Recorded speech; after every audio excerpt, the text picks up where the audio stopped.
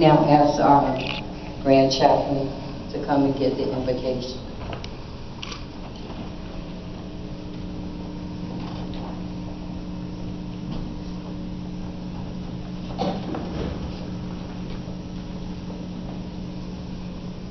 Please rise to your feet as we give reverence to God.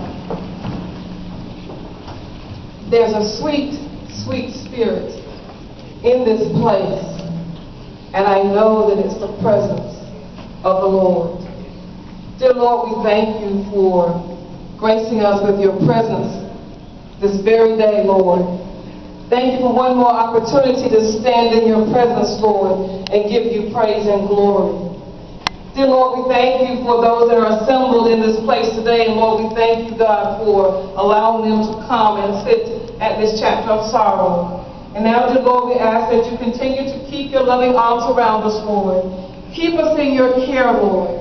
Bless and keep everyone under the sound of my voice, Lord. And bless this program as only you know how, Lord. We love you, Lord. We honor you and we praise you. In Jesus' name. Amen.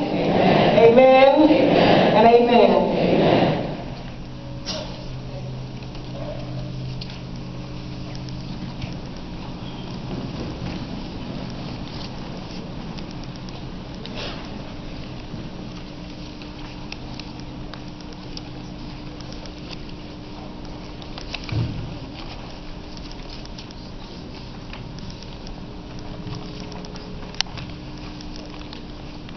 Can I ask that you please stand and do the litany of remembrance?